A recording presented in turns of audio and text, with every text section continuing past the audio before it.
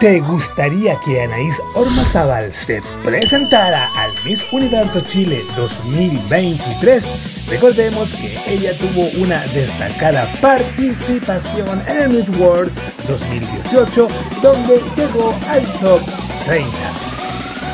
Soy Ricardo HC y nos vemos en Una Reina para Miss Universo Chile 2023.